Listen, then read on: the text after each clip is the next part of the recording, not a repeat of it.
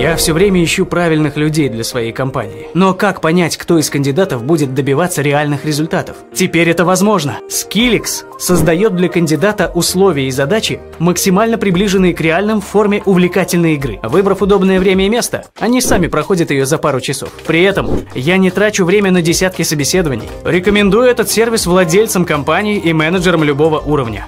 Просто регистрируйтесь, отправляйте приглашение и делайте обоснованный выбор. Mediafresh. Возьмем опыт лучших специалистов в области публичных коммуникаций. Добавим немного креатива. Разбавим лучшими мировыми трендами. Полученную смесь употребляйте раз в неделю строго по назначению. Mediafresh. Итак, друзья мои, 70-й выпуск Mediafresh уже в студии на Рентгена 7. У меня хороший товарищ, друг по работе и просто прекрасный мужчина. Сейчас мы в подводке узнаем, чем же он знаменит, а потом я снова начну своими любимыми инструментами вытаскивать из него все профессиональные секреты. Вячеслав Файвинов, 32 года, организатор конференций, семинаров и тренингов. Главным профессиональным достижением считает то, что живет той жизнью, которая его полностью устраивает – мечтает выбирать каждый вечер новую страну для ужина. Ну что, ты готов? Да, готов. Итак, не надо говорить, что ты ничего не знаешь, и все равно я буду из тебя узнавать самые-самые сокровенные вещи, как же ты докатился до жизни такой. В первую очередь, давай небольшую такую ремарку о твоей биографии, почему все организаторы России, в частности Питера, знают о тебе, знают о твоих проектах, но если вдруг наши слушатели еще молоды и не успели застать золотую эру инфобизнеса, то сейчас мы об этом и расскажем. Ну вот и тебя я узнал, что, оказывается, обо мне все знают. Ну, ладно, буду знать. А, тебе с какого момента Мне сначала. Тебе сначала? Ой, началось еще в ВУЗе в 2000-х годах, когда у нас было СНО. Э, сейчас как это правильно говорить? Первые продажи со сцены тогда пошли. А первые организации психологических конференций, э, каких-то газет, каких-то выступлений. А, далее в 2003 году я уже работал с компаниями Sony, Pioneer и там Toshiba и так далее. Мы делали акции. Все, что касается маркетинга, это оттуда пошло. В 2005 году я уже работал в РЖД. Так, соответственно, ну, коммуникации тоже оттуда идут. Если будем говорить дальше, э, так, э, от 1С идут, в котором я тоже работал в одной из компаний франчайзи, соответственно, оттуда идет умение проводить большие мероприятия массовые на нескольких площадках. И сейчас скажу, ну а весь тот движняк, который более-менее виден вот сейчас, ну, который происходит в городе, в стране, и, какого, и к какому я имею какое-то отношение, соответственно, это с 2010 года. И вот что произошло в 2010? То есть у тебя были крупные а, проекты в разных больших компаниях, а потом в какую-то, как говорится, инфобизнес, это продажа воды. Как ты туда попал? Я бы не сказал, что я имею, ну, прямо вот совсем такое филированное отношение к инфобизнесу, потому что, ну, в 2010 году не было ну, никакого инфобизнеса еще, если говорить об Андрее Парабелами, то он еще не, не сильно был известен, и я вот сейчас это буду раскрывать. Началось все с того, что в 2010 году я со своим партнером Кириллом Гуйдуком, и, кстати, еще Андрей Зимин, ну, наверняка ты ну, тоже знаешь. Но мы с Андрюшей даже одного дня, один день рождения у нас на дворе. Да, э, началось с того, что тогда уже у Кирилла была своя организация, которая тогда называлась Бизнес-коп, которая уже регулярно что-то проводила. Мы просто стали это проводить гораздо более часто и, соответственно, более массово. То есть в 2010 году мы уже стали собирать человек по 500 там на Игоре Мана. А как вы это все делали в пространстве, когда это не было настолько популярным? Тем более, это Бантри какой 2010 Да, да, тогда еще не было понятия заработка, тогда еще не было двухшаговой продажи, но, во всяком случае, мы это не умели. То есть тогда собрать э, мероприятие за 500 рублей входной билет, так называемый организационный сбор, это тогда казалось, ну, логично. Собственно, вот с этого все и началось. Я просто помню, что я приходила в бизнес-клуб на какой-то вечер контактов. Да, это было 2011. Вот, 2011 это... Я не помню, сколько там был взнос, но там рублей 700, наверное, был. И я потом долго думала, почему так много людей отдали, ну, достаточно, получается, в массе своей большую сумму денег в итоге вам за то, что они друг с другом просто по минуте познакомились. Почему, как вы сумели создать именно такое сообщество людей, которое ходило с мероприятия на мероприятие? Ну, нужно от, от человека отталкиваться. Если у него внутри, в нем самом есть инструменты коммуникации и монетизации, ему достаточно и пяти человек. А если еще и сто, то если он умеет продавать и умеет знакомиться, он моментально монетизирует, это, ну, соответственно, вот это вот микросообщество. Поэтому... Вы как его собирали? Вот именно из, ища каждого такого человека и объединяя? Или Нет, были... ты, ты имеешь в виду, тебе интересно какие? Каналы коммуникации, по которым эти люди пришли? Да, как Это из приходили. контакта. В основном тогда была аудитория из контакта. А что вы делали? Вы приглашения слали, таргетинг ставили? Таргетинг уже к тому времени появились бюджеты, был таргетинг. Ну тогда популярных сообществ так- таких больших не было, А не, правильно? не было импульсного трафика, не было. Паблики запустились в 2011, по-моему, то ли в феврале, то ли в марте, соответственно, импульсного трафика как такового не было. Вот. э, И работал тогда таргетинг. Тогда, ну, фактически большая часть э, аудитории приносил именно он. Это как раз из, из- Ну, не было еще рассылок партнерских, не было умения собирать, э, ну вот за вот эти вот два года достаточно много всего изменилось. Мгм. Хорошо, а давай теперь перейдем к тому моменту, когда уже в 2011 в каком году ты начал параллельно делать какие-то другие проекты, там вы разошлись, насколько я помню. Ну, я бы не сказал, что мы, мы разошлись внутри организации, Да. но, но мы все равно проводим проекты, то есть это, как, как правильно сказать-то, А, просто ни- ни- никто не стал делать каждый по своему автомобилю, каждый стал делать а, по какой-то конкретной части, сосредотачиваясь именно на ней. То есть, если я, например, отвечаю за подвеску, да, то я ее делаю, там, я не буду собирать а, на, три, на ну, Запорожец кое-как, да, я лучше сделаю идеально свою часть, и, соответственно, в идеале у нас про- продукт получится гораздо дороже, и мы его гораздо более выгодно продадим. А чем это отличается от распределения обязанностей внутри одной компании? А рыночная ценность гораздо более конкретна. У тебя прописана конкретная монетизация твоего процесса. Там абсолютно четкая монетизация, сразу видно, работаешь. Ну, соответственно, твой результат. Внутри команды можно съехать. Нет, подожди, давай вот просто на примере. Как это вообще происходит?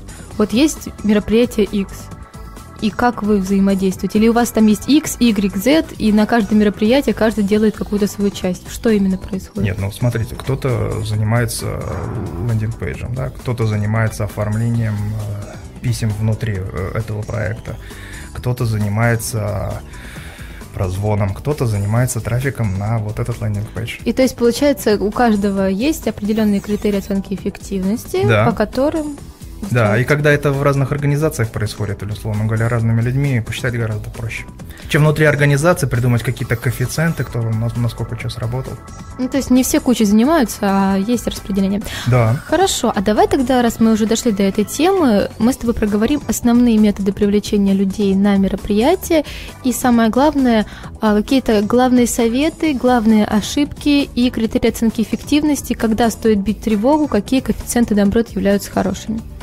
Слушай, ну нужно отталкиваться от конкретного проекта. Лучше ты мне назови, ну, там, на Ну, вот примере давай. каких-то там digital ей или еще Не, ну чего. давай вот возьмем проект, ну, не знаю, придумала Катя Коннова провести свой тренинг. Какой? Ам, давай бизнес-пикап, вот монетизация личного бренда. Соответственно, Катя Кононова решила, что будет волшебный курс, он будет длиться условно месяц такой, а два, два раза в неделю идут занятия. И что нужно делать?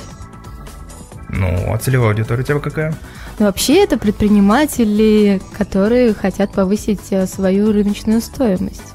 Немного а, размыто для меня, что значит рыночная стоимость. У предпринимателя рыночная стоимость какая? Его как его организации, его, Его- рабочего времени, Смотри, его, его чистой прибыли. А тут все приходит в кучу. С одной стороны, Вот не хочу, Ну чтобы ладно. все, все приходило Не, ну кучу, давай так ну, начнем, возьмем с того, что он просто вот консультант, к примеру, и если его будут все знать, он сможет брать за час больше не 100 А, ну, рублей, а 200 рублей. Тупо механическое, э, это самое, его, ну, простая его механическая стоимость, что называется. Ну да, пусть будет так. Ну, а почему тогда, ну, следующий вопрос, а почему тогда ты идешь через этот продукт? Гораздо проще создавать какие-то книги, э, контент, который ты, собственно, и создаешь, и идти через него, через, условно говоря, количество контактов, создание популярности.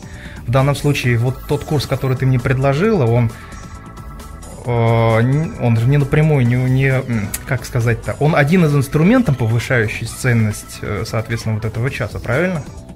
Ну да, но в этом Он не основной инструмент. Подожди, но в этом, а, в этом курсе все основные инструменты, которые выполняют люди в домашних заданиях. Нет, подожди, ты... У нас задача какая? Чтобы он за час больше денег получал а- от консультации? Или задача провести курс, а для чего этот курс? мы- Нет, подожди, курс мой, благодаря прохождению которому наш предприниматель Вася Пупкин Ага. начинает получать не 100 рублей за консультацию, а 200 рублей. А, я понял. Нет, можем взять другой пример, не знаю, вот у нас будет сейчас летняя школа пиар и маркетинга, там целевая аудитория вообще простая. Это школьники, которые поступают на пиар-рекламу, это студенты первого-третьего курса, а, и это, получается, у нас абитуриенты, которые вот сейчас летом не знаю, чем заняться. Неделя, три, точнее, две недели идет курс, каждый день занятия, получается, каждый день с 10 до 6 уроки, задачи, крутые спикеры и так далее. Ну, с предпринимателями не проще, потому что э, вот эту аудиторию, ну, хотя бы минимально знаю. Ну вот давай тогда вернемся к монетизации личного бренда. Вот есть у меня курс, который нужно продать предпринимателям. Что нужно сделать? Он у тебя какой? Онлайн, офлайн? Оффлайн. Ну, соответственно, э, ну, ты имеешь в виду, вот, ну, это вебинары, да? Это инструмент не привязанный. Оффлайн, это значит, э, Это значит в Петербурге? да. О. Давай, буду делать тебе сложные задания. Ну, а зачем? Ну, хочется, наши слушатели хотят а, узнать побольше. Не, ну просто э, если делать э, онлайн, ты подключишь совершенно, скажем так, более платежеспособную аудиторию, и вебинары позволяют уже достаточно полноценно использовать вот эти вот фокус-группы, которые ты создаешь, и соверш- э, как это, и э, привлекать более платежеспособное А почему? население, чем в Санкт-Петербурге. Почему ты считаешь, что в городах, Не-не-не, не в городах, в Санкт-Петербурге. даже в Санкт-Петербурге лучше пьют вебинары? Нет, не, не дело не в том, в- что в Санкт-Петербурге. Все равно, где ты находишься, к тому, что в Санкт-Петербурге более сложная аудитория относительно всего всей остальной России. Это знают все.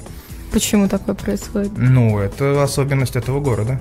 Поэтому, если мы говорим о вебинарах, оттуда, если говорить про мой опыт, оттуда не так много людей из Санкт-Петербурга. Я тебе больше скажу. Есть, когда мы делали первую пятерку, где был э, Ман, э, был такой проект Five Stars, соответственно, в 2011 году мы первые, кто вытащили в онлайн одновременно пять самых известных э, российских экспертов. Там был Ман, Левитас, э, так, что у нас там еще было? Дмитрий Кот, ну, со- э, Радмила Лукич, соответственно, если смотреть по продажам, по-моему, в Питере вообще никто не купил. То есть, ну, трафик шел со всех городов, и, соответственно, и питерские его тоже видели. Я тебе больше скажу, вот именно под эту аудиторию, да. Ну ладно, Я, я тебе, я тебя, э, смотри, я тебя сталкиваю к закону Паретта, просто ты говоришь, нужно в Питере. Вопрос не ко мне, вопрос, а зачем тебе нужно в Питере? Потому что я люблю общаться лю- с людьми вживую. Я считаю, что оффлайн курсы работают лучше, чем интернет. Хорошо, 5500 Сапсан, в Москве соберешь этот курс. Хорошо, ладно. И тут вопрос не в этом. Я не к своему курсу, а к тому, что какие инструменты ты можешь порекомендовать людям. Инструменты более-менее одинаковые. Э, В данном случае, если у тебя целевая аудитория вот бизнесовая, ну, тебе нужно находить, э, если говорим о почтовом трафике, то тебе нужно... А у тебя как курс, что называется, закрывается? Какая монетизация? Там сколько шагов? Что значит сколько шагов? Ну, ты его в лоб продаешь за какие-то деньги. Или, соответственно, у тебя сначала идет, условно говоря, разогревающий вебинар. Ну, опять же, вебинар, либо какое-то выступление, после которого люди понимают, да, им это надо, и они идут уже, видя твои глаза, уже монетизируются. Зайка мой, ну ты же у меня эксперт. Я тебе просто привела пример, поэтому... Ну, я ж, ты же задала конкретный вопрос. Не, ну же не смотри, у меня условно есть и бесплатные. Я могу и книгу свою показать, я могу Вот. И видео обучающее дать бесплатно, Вот. могу все что угодно. Ну, Как лучше это сделать? Твой опыт, что говорит, какой должен быть алгоритм? я, я бы просто сделал тестовый запуск, прогнал бы несколько рассылок. А, Почтовых. Не, не обязательно почтовых. Ну, то есть те люди, которые, по твоему мнению, будут релевантны твоему курсу. То есть это, условно говоря, где есть предприниматели, твоя целевая аудитория. Даем штук 5, находим их, говорим, давайте сделаем классный тест. Они тебе приходят на landing page, который ты сделал так, как ты хочешь. То есть ты знаешь эту аудиторию, и, наверное, ты предполагаешь, как она правильно будет, что называется, а, монетизироваться. Дальше они знакомятся с твоим landing page ем и делают какое-то целевое действие, зависит от того, что тебе нужно. Вот тебе что нужно? Чтобы они а, пришли на твой тестовый, ну, на, на твою презентацию, правильно? В онлайне. Если говорим про Питер, то, конечно, количество трафика резко сокращается, условно говоря. Но если говорим про онлайн, хорошо. Вот Да. на бесплатный вебинар. Я тебе больше скажу, можно сделать в Петербурге семинар, но сделать онлайн-трансляцию. То есть ты не потеряешь часть трафика. Хорошо. Вот То есть я тебя все-таки сталкиваю к более каким-то конкретным денежным цифрам, потому что, ну, э, в Москве и в других городах люди чаще всего, чаще всего, опять же, более активные и не то что более пассионарные, ну, статистика продаж показывает, что в Петербурге не так много, ну, я, ну, опять повторяю, да? Соответственно, это закон Паретта. Мы можем сделать 80% усилий, но получим 20% результата, если, условно говоря, собираем в Питере. Есть часть проектов, которые опровергают это. То есть на примере Digitali это крупнейшая конференция, но она была в Питере. То есть я сразу хочу оговориться, да? Если ты вот конкретно что скажешь, вот в Digitali он прошел в Питере, хотя там половина спикеров из Москвы приехала и куча народу как бы тоже иногородняя, но это крупнейшая питерская конференция. Да, мы с Сережей на прошлом, позапрошлом выпуске общались как раз на эту тему. Так Вот, давай. да, соответственно, последний вопрос у тебя какой был? Э, Целевое действие, правильно на сайте, да? Человек, ознакомившись с той информацией, которому ты приглашаешь, ну вот, допустим, ушла какая-то партнерская рассылка, да, ты говоришь, я вот такая-такая, у меня интересный курс, кто хотите, переходите по этой вот ссылке.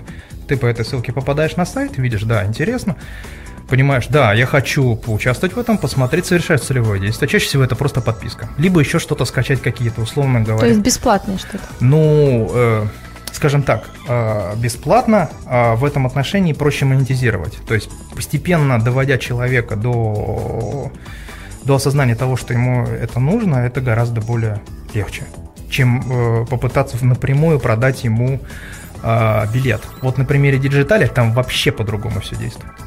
То есть там как раз система охвата по-другому работает. Там и ре- ре- ретаргетинг, ремаркетинг работает, и, соответственно, и охват по-другому строится. То есть если мы говорим об, об этих инструментах, это вообще отдельная песня.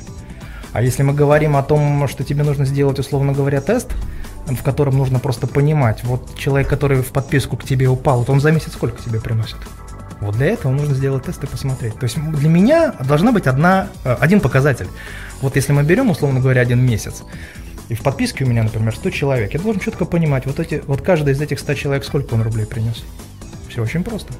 Стоимость подписки определяет, по сути, дальше твое действие, а что ты дальше будешь делать. Как только ты знаешь стоимость подписчика, ты сразу можешь формировать маркетинговый рекламный бюджет.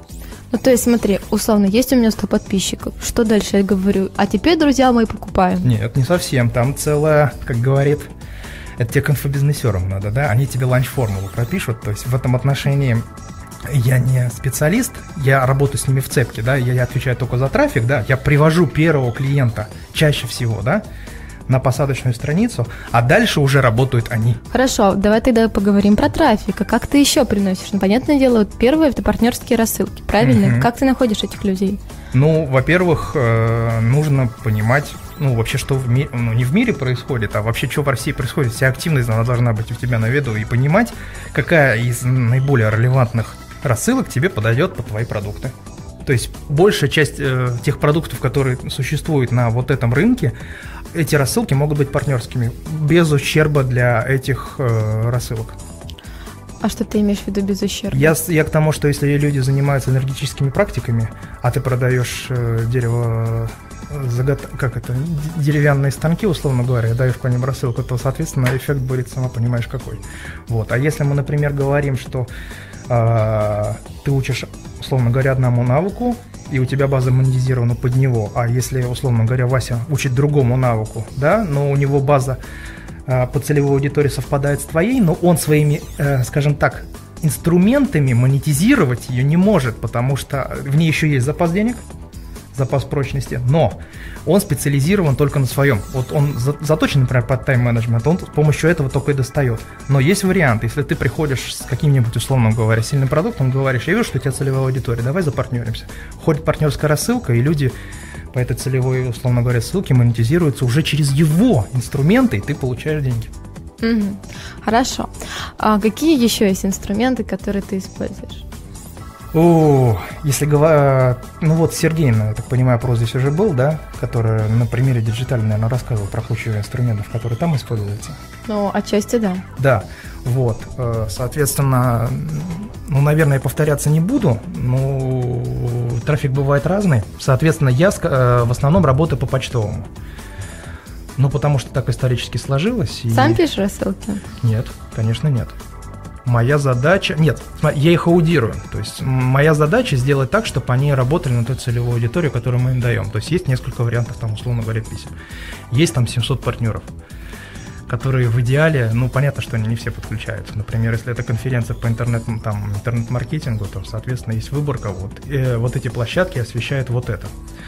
А, тебе, наверное, интересно, что им нужно предлагать, чтобы они согласились на участие, Да, то есть, чтобы, чтобы они запускали. То есть можно трафик тупо выкупать, но это понятно, это не ко мне, потому что, ну, как бы тот же в Google заплатите деньги, получите э, этот самый, получите переходы в контакт, пожалуйста, тоже заплатите деньги, получите переходы, мы про это сейчас говорить не будем. Мы будем говорить о том, что есть куча площадок, у которых есть подписчики, и которым тоже надо их как-то развлекать. То есть помимо этого нужно создавать э, свой какой-то интересный продукт э, и презентовать этой площадке его таким образом, чтобы, их под- чтобы они поняли, что их подписчикам это будет реально интересно. То есть, по сути, позиционирование такое. Я за вас уже придумал такой классный продукт, который будет вам, и, э, вашим подписчикам очень интересен. Вот, и, соответственно, вы можете э, как бы анонсировать его. Ну, и, соответственно, Это- это- просто так, потому что, ну, я скажу, ну, зачем мне это? Это первое.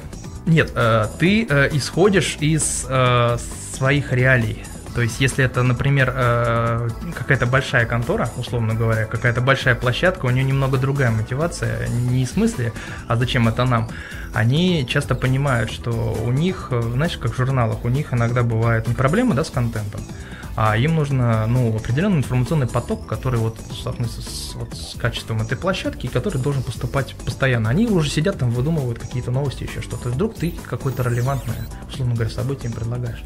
Они с удовольствием его поделятся, которое еще регулярно происходит, уже там третий или пятый год. Например, конференция Digital. Ну вот на примере, я говорю, ребят, ну вот она уже четвертый раз проходит.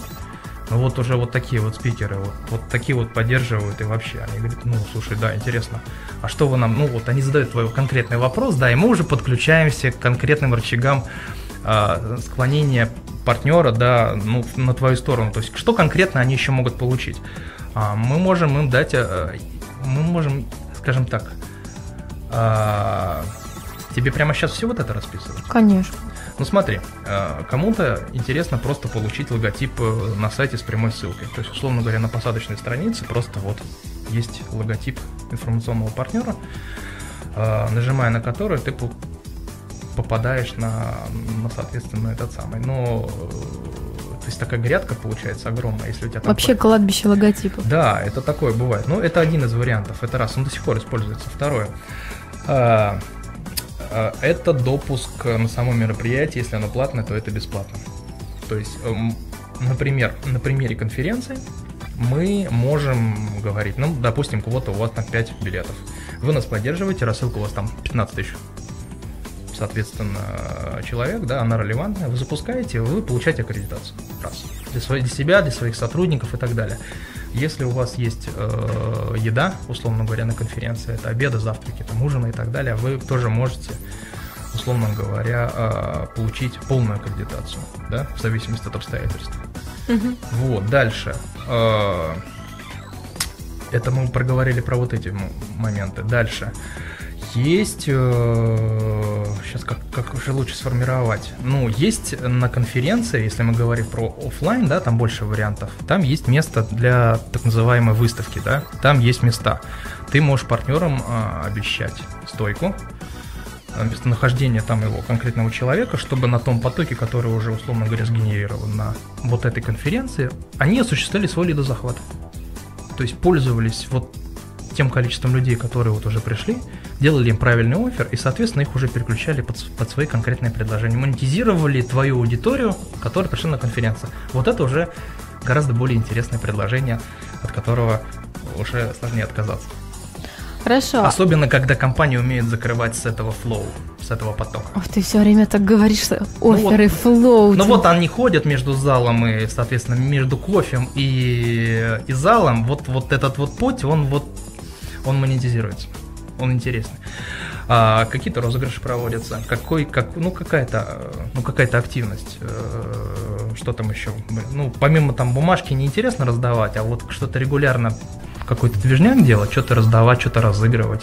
Не по визиткам в третий день, когда уже на первый день все ушли, на третий день уже не пришли, что-то там раздавать со сцены, да? Соответственно, там какие-то уже интересные движники происходят. Ну, сама же знаешь, что можно в зале еще что-то раздавать, что-то на меня так хитро смотришь. Да, я-то, я просто наслаждаюсь.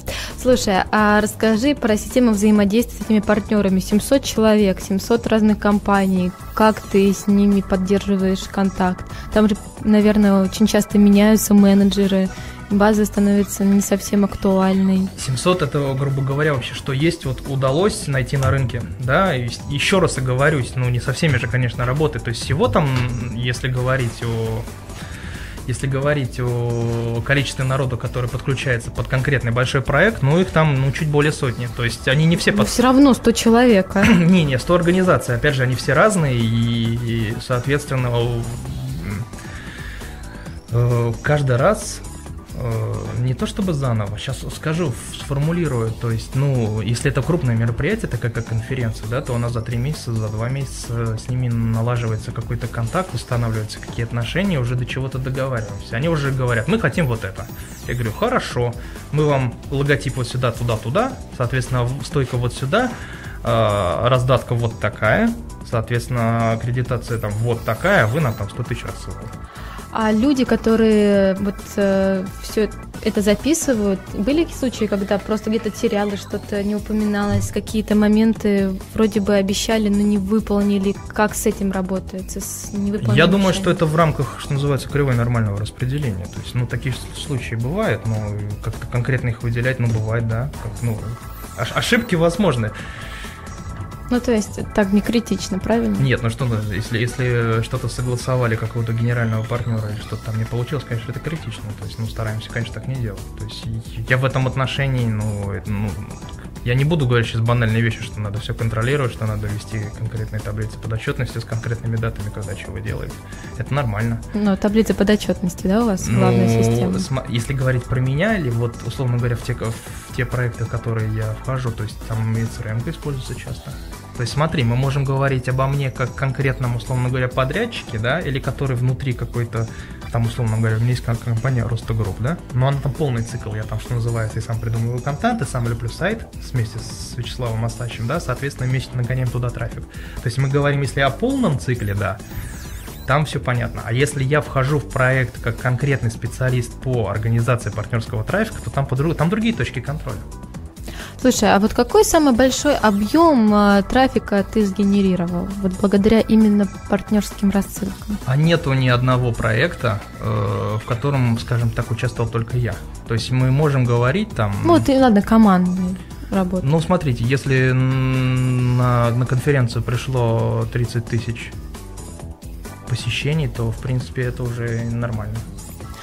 А если говорить о рассылках, какой процент открытий считается хорошим для почтовой рассылки? У, ну ты такой вопрос, барыня, задала, что вообще не бровь в глаз. Они, они не просто разные, они очень разные. То есть есть рассылка 100 человек, которые моментально конвертируются там с 70% долей вообще даже конверсии, то есть там переходов, ну то есть там ка- каждый, там 70% человек, которые пришли от нее на сайт, они там регистрируются или попадают в рассылку, а есть там, условно говоря, декларируемые там 20 тысяч чело- э, рассылка, которую через раз, не просто через раз открывают, которую там переходов раз-два и обчелся, то есть в данном конкретном случае, чтобы я бы не то что посоветовал, вот вернемся на полшага назад. Вот тот список, про который ты говорила, партнеров, хорошо бы там его еще ранжировать по конкретным баллам. То есть вот этого человека в первую очередь окучиваем, потому что у него нормальная рассылка, то есть все усилия, опять же, ну, мы говорим про закон Паретта, в первую очередь туда.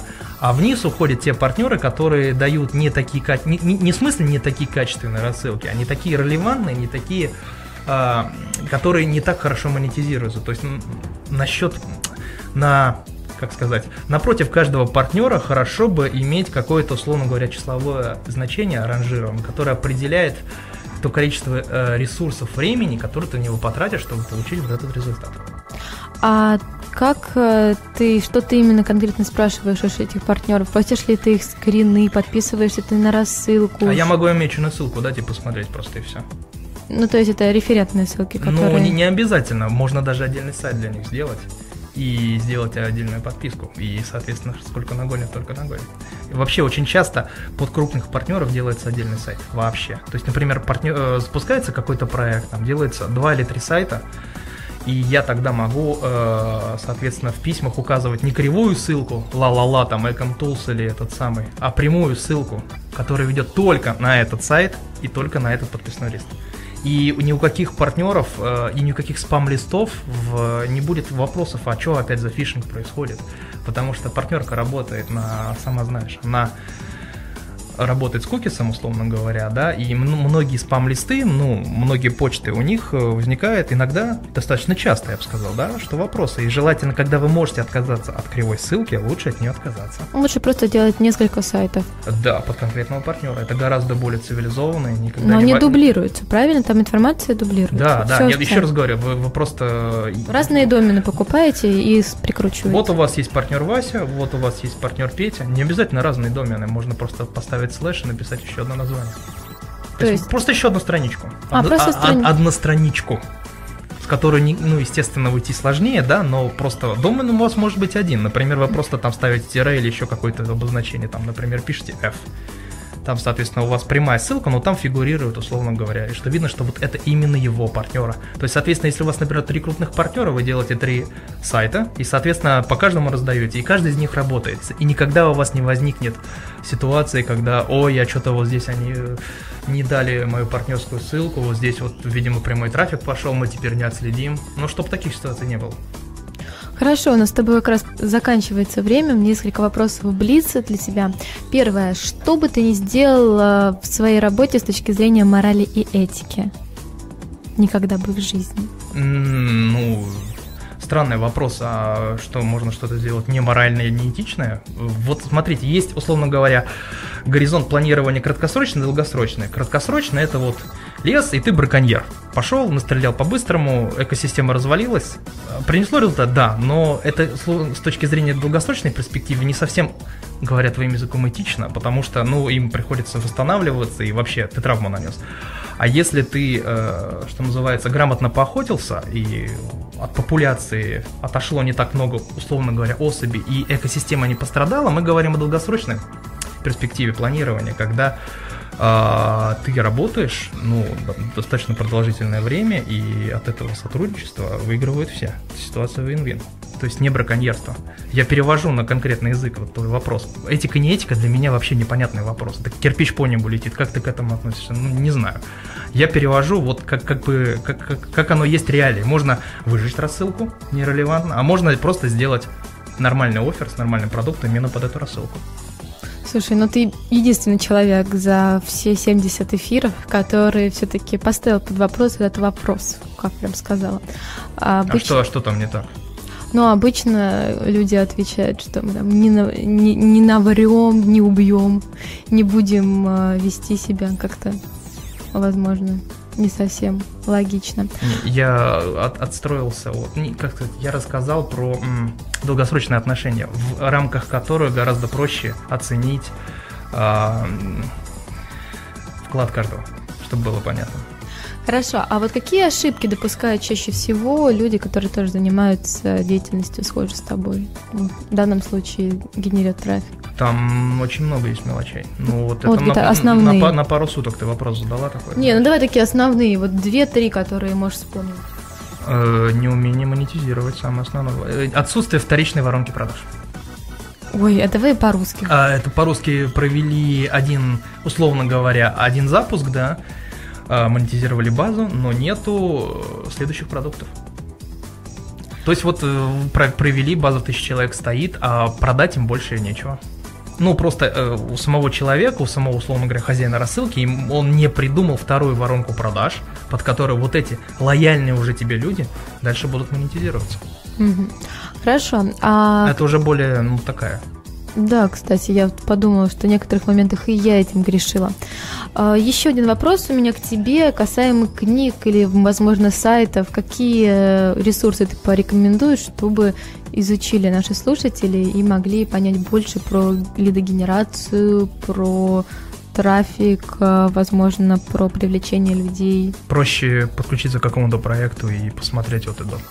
Я не тот человек, который будет рекомендовать какие-то книги. Ну, проще всегда взять живого человека, сесть рядом и сказать, ну, покажи, пожалуйста. Все. Проще подойти к лидеру рынка и сделать так, чтобы он тебя научил. А как сделать так, чтобы он тебя научил? А, ну вот это уже другой вопрос. Это нужно, скажем так, ну, ему надо быть заинтересованным в тебе каким-то образом. А это уже такой вопрос третий. Ладно, а, и самый главный вопрос, какой совет ты можешь дать нашим слушателям, которые хотят повторить твою историю, хотят тоже научиться генерировать трафик, при этом зарабатывать много денег и быть счастливым? Ну, слушай, ты когда говорил это предложение, вот под каждым из них там куча вопросов возникала, после каждой запятой. То есть вот такая легенда, которую ты сейчас рассказал, там много денег, э, генерировать трафик. Эм, Я не... Наверное, сейчас опять уйду, да, из-под атаки. Э, Я не люблю давать советы. Ну, как говорят, у вас своя свадьба, у нас своя свадьба. Надо каждый раз смотреть. Ну, это, ну, просто это какая-то школьная тема получается, знаете. А что вы дадите вот э, что бы вас сказал Лев, Лев Толстой? Там, ну, вы- ну, по- понимаете, вот у всех диагнозы разные. Вот что могу сказать. Я не могу конкретно сказать, нету общих механизмов. Это, ну, То есть нет универсального секрета. Конечно. А, а как найти свой путь хотя бы вот в этом ключе? Антон Мажилин хорошо сказал про это, один из создателей фриланса. Он, вы монетизируете то, э, лучше у вас получится монетизировать то, чем вы готовы заниматься постоянно и бесплатно. Ну вот я думаю, что на этой воодушевляющей ноте мы закончим 70-й выпуск Медиа Фреш. Спасибо, что пришел, спасибо, что уворачивался от моих вопросов. У тебя практически это получилось. Я думаю, что наши слушатели с удовольствием, наверное, все-таки будут следовать тем советам, которые ты все равно дал, не хотел, но дал. Поэтому еще раз благодарю тебя. Спасибо. Пока. Медиафреш.